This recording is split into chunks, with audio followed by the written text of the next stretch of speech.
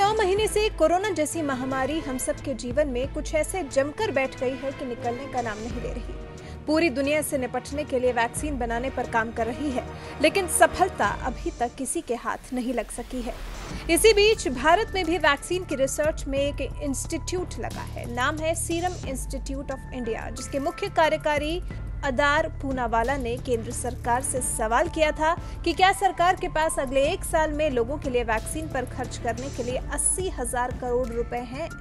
अदार पूनावाला ने जब से केंद्र की नरेंद्र मोदी सरकार से सवाल पूछा है, उसके बाद से तो मोदी सरकार का हर विरोधी उनसे इसी सवाल का जवाब चाहता है। कांग्रेस के पूर्व अध्यक्ष राहुल गांधी तो पीएम मोदी से ये सवाल पूछ ही चुके हैं। उनके बाद अब एआईएमआईएम चीफ असदुद्दीन ओवैसी ने भी केंद्र सरकार से यही सवाल पूछा है। ओवैसी ने ट्वीट कर कहा, सर, क्या आपकी हुकूमत अस्सी हज़ार करोड़ रुपए का इंतज़ाम करेगी? सर, थाली ताली लाइट ऑफ़ 21 दिन, तिरानवे हज़ार तीन सौ उन्यासी मौतें, पहले घर में चिराग, बाद में अदार पूनावाला के सवाल से प्रेरित होकर तो वैसे ने सवाल पूछा ही। साथ में अपने ट्वीट के आधार के रूप में उन्होंने जिस ट्वीट का इस्तेमाल किया, वो ट्वीट पीएमओ इंडिया का है, जिसमें लिखा है, विश्व के सबसे बड़े वैक्सीन उत्पादक देश के तौर पर आज मैं वैश्विक समुदाय को एक आश्वासन देना चाहता हूँ। भारत की वैक्सीन प्रोडक्शन और वैक्सीन डिलीवरी क्षमता पूरी मानवता को इस संकट से बाहर निकालने के लिए काम आएगी। ये पीएम मोदी की कही हुई बात है, जिसे पीएमओ ने ट्वीट किया और फिर असदुद्दीन ओवैसी ने रीट्वीट किया। ओवैसी यहाँ ये दिखाने की कोशिश कर रहे थे कि भारत को पहले अपने बारे में सोचना चाहिए। अपने घर में उजाला करने की सोचनी चाहिए, उसके बाद कहीं विदेश और दुनिया भर के लोगों के बारे में सोचना चाहिए। मतलब दुनिया को बड़े बड़े वादे करने से पहले अच्छा होगा कि पीएम मोदी अपने घर के चिराग को जलाएँगे और अपने घर को रोशन करेंगे।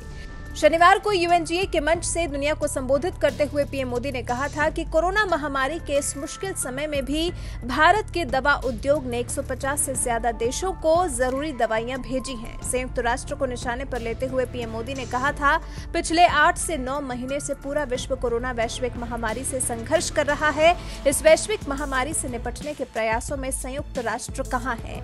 एक प्रभावशाली रिस्पॉन्स कहाँ है? वहीं आधार पूनावाला के ही सरकार से अस्सी हज़ार करोड़ की वैक्सीन पर किए गए सवाल के एक न्यूज़ लिंक को ही रिट्वीट करते हुए कांग्रेस के पूर्व अध्यक्ष राहुल गांधी ने भी ट्वीट किया था। लिखा था, सवाल तो जायज़ है, लेकिन सरकार के जवाब का भारत कब तक इंतज़ार करेगा? जिस सवाल को राहुल गांधी ने रिट्वीट किया था, उसमें लिखा था, क्या सरकार के पास सभी को कोरोना वैक्सीन देने के लिए अस्सी हज़ार करोड़ रुपए हैं? एसआईआई के मुख्य कार्यकारी अदार पूनावाला ने ट्विटर पर सरकार से सवाल किया था क्या भारत सरकार के पास अगले एक साल में अस्सी हज़ार करोड़ रुपए होंगे, क्योंकि भारत में हर किसी के लिए वैक्सीन खरीदने और वितरित करने को लेकर स्वास्थ्य एवं परिवार कल्याण मंत्रालय को इतनी ही रकम की ज़रूरत होगी। ये अगली चुनौती है जिससे हमें निपटना होगा।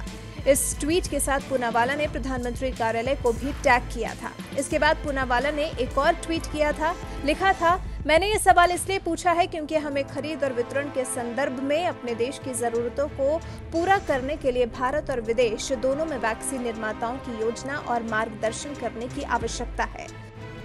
आपको बता दें, सीरम इंस्टीट्यूट ऑफ़ इंडिया दुनिया की सबसे बड़ी वैक्सीन निर्माताओं में से एक है। ऑक्सफर्ड यूनिवर्सिटी में भी जो वैक्सीन विकसित हो रही है, उनके उत्पादन में इस कंपनी की साझेदारी है। इस 50 एकड़ में फैले इंस्टीट्यूट में एक मिनट में 500 वैक्सीन डोज बनकर तैयार होती है। एक साल में पूरे एक हज़ार करोड़ वैक्सीन तैयार होती हैं। आपको क्या लगता है, क्या मोदी सरकार पुनावाला का सवाल हाँ में देने के लिए तैयार है? क्या 135 करोड़ की जनसंख्या वाले देश में सबको वैक्सीन उपलब्ध हो सकेगी? इतनी क्षमता मोदी सरकार रखती है? हमें कमेंट कर अपनी राय ज़रूर बताएँ।